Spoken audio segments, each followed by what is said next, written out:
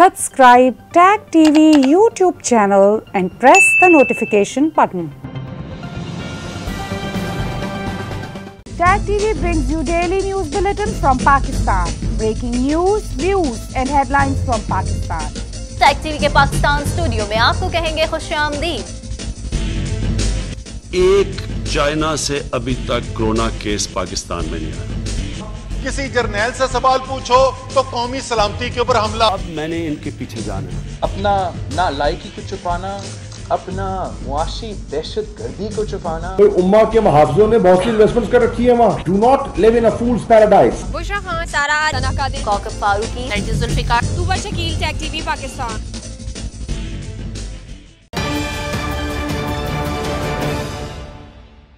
अस्सलाम वालेकुम नाजरीन टैग टीवी के पाकिस्तान स्टूडियो से मैं हूँ नाजा नियाजी बुलेटिन में सबसे पहले शामिल करते हैं न्यूज़ हेडलाइंस। मैंने कोई कत्ल नहीं किया, बेगुनाह हूँ।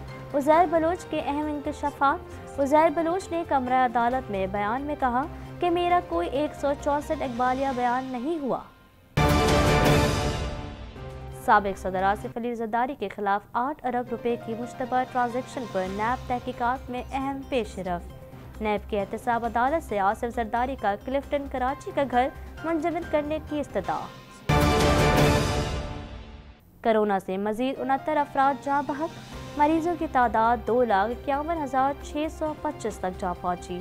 उमरकोट में कोरोना वायरस से पहले डॉक्टर की मौत। मवेशी मंडियों के औकात कार सुबह छः से शाम सात बजे तक होंगे। असद उमर ने कहा कि हुकूमत की तरफ़ से उठाए गए बर वक्त इकदाम से कोरोना के ज़्यादा फैलाव को रोकेगी। दूध फरोशियों की मनमानियाँ जारी। महँगा दूध बेचने वालों के खिलाफ क्रैकडाउन। कमिश्नर कराची का कहना है कि शहरी मुनाफा खोरों की निशानदही में मदद करें और कंट्रोल रूम में शिकायत करें। लियारी गैंग वॉर के सरगना उजैर बलोच ने कमरा अदालत में इंकशाफ किया है कि मेरा कोई एक सौ चौंसठ का इकबाली बयान नहीं हुआ। अल्लाह को हाजिर नाजिर जान कर कहता हूँ, मैंने कोई कत्ल नहीं किया, मैं बेगुना हूँ। तफसीत इस रिपोर्ट में।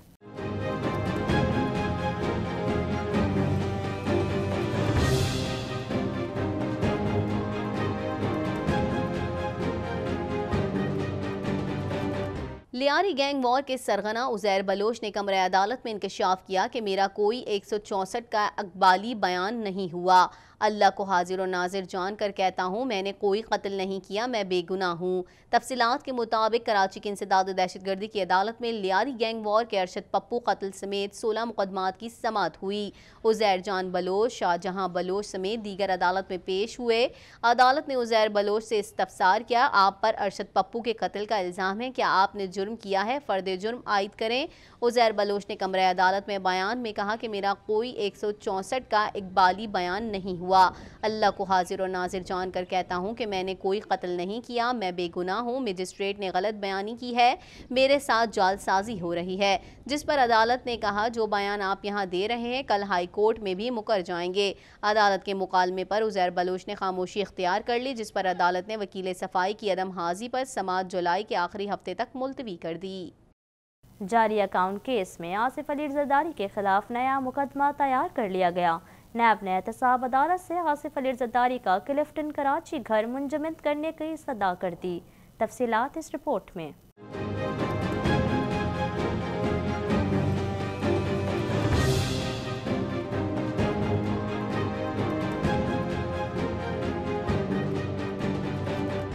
सबक सदर आसिफ अली जरदारी के खिलाफ आठ अरब रुपए की मुशतबा ट्रांजेक्शन पर नैब तहकीकात में अहम पेश रफ्त हुई। नैब के मुताबिक ठोस शवाहिद हैं कि आसिफ अली जरदारी ने क्लिफ्टन कराची का घर करप्शन से बनाया। घर की खरीदारी के लिए आसिफ अली जरदारी के स्टोनोग्राफर ने रकम दी। नैब के मौकफ के मुताबिक आसिफ जरदारी को क्लिफ्टन कराची घर का सवालनामा दिया, जिसका कोई जवाब ना दिया गया।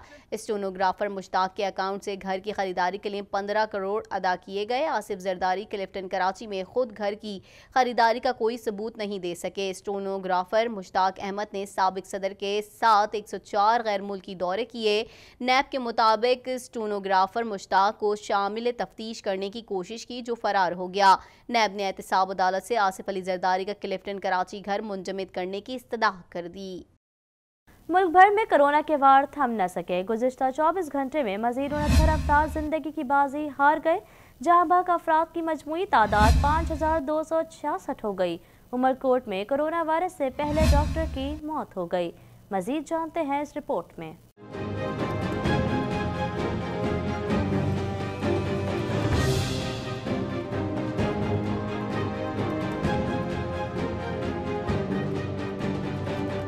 मुल्क भर में कोरोना के वार जारी। अमवात का सिलसिला थम न सका। National command and operation centre के ताज़ा दादोशुमार के मुताबिक 24 घंटे के दौरान मुल्क भर में कोरोना से मजीद उनहत्तर अफराद मौत की वादी में उतर गए। वायरस से मुतासर मरीजों की तादाद दो लाख तैंतालीस हज़ार पाँच सौ निन्यानवे तक जा पहुँची। एन सी ओ सी के मुताबिक एक लाख इकसठ हज़ार नौ सौ सत्रह मरीज़ सेहतियाब होकर घरों को जा चुके हैं। पंजाब में मरीजों की तादाद सतासी हज़ार तैंतालीस। सिंध में एक लाख पाँच हज़ार पाँच सौ तैंतीस खैबर पख्तूनख्वा में तीस हज़ार चार सौ छियासी, बलूचिस्तान में ग्यारह हज़ार एक सौ पचासी, इस्लामाबाद चौदह हज़ार एक सौ आठ, गिलगित बल्तिस्तान में एक हज़ार छः सौ इकहत्तर, जबकि आज़ाद कश्मीर में मरीजों की तादाद एक हज़ार पाँच सौ निन्यानवे हो गई। गुजशत चौबीस घंटों के दौरान बाईस हज़ार पाँच सौ बत्तीस टेस्ट किए गए, जबकि मुल्क भर में अब तक पंद्रह लाख पचासी हज़ार एक सौ सत्तर टेस्ट किए जा चुके हैं, जबकि सिविल अस्पताल के डॉक्टर कोरोना वायरस के बायस इंतकाल कर गए, जो जिला उमरकोट में कोरोना से किसी डॉक्टर की पहली मौत है। डीएचओ उमरकोट डॉक्टर अलादात के मुताबिक डॉक्टर अब्दुल रजाक, कंभार सिविल अस्पताल शोबा अमराज कल्ब में तैनात थे, जिनका बारह रोज कबल कोरोना टेस्ट मुस्बत आया था और वो घर में आइसोलेट थे। डॉक्टर अब्दुल रजाक की इतवार को तबीयत बिगड़ने पर उन्हें कराची मुंतकिल किया जा रहा था कि वो रास्ते में ही दम तोड़ गए। असद उमर ने कहा है कि मवेशी मंडियों के औकात कार सुबह छः से शाम सात बजे तक होंगे। मवेशी मंडियों के दाखिली रास्ते पर स्क्रीनिंग की जाएगी। मजीद जानते हैं इस रिपोर्ट में।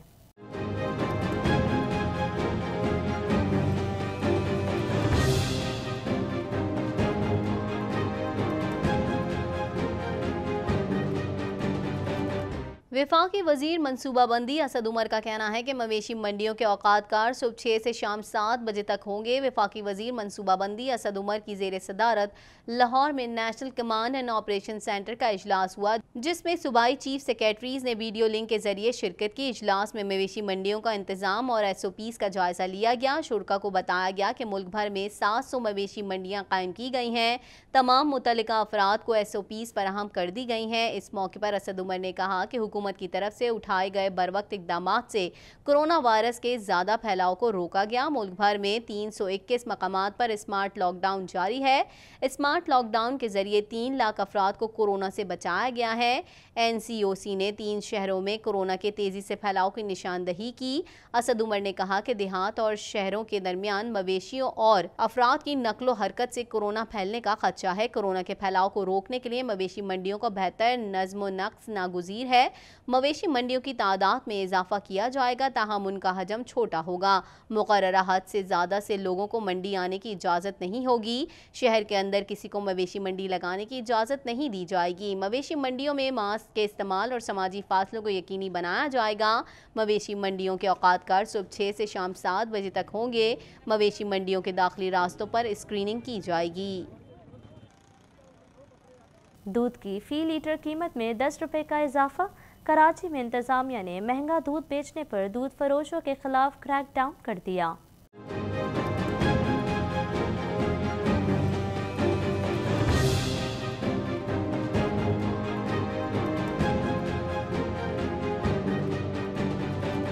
कराची में दूध फरोशों ने एक बार फिर मनमानी करते हुए दूध की फ़ी लीटर कीमत में दस रुपये का इजाफा कर दिया, जिसके बाद शहर के बेशतर इलाकों में दूध एक सौ बीस रुपये लीटर फरोख्त किया जा रहा है।